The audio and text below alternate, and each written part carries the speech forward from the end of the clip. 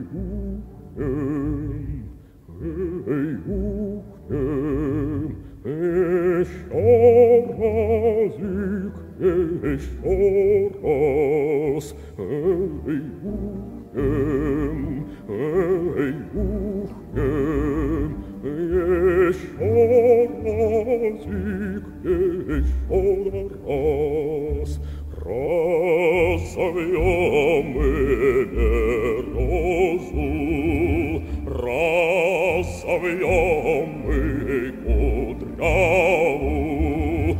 Aida da aida, aida da aida,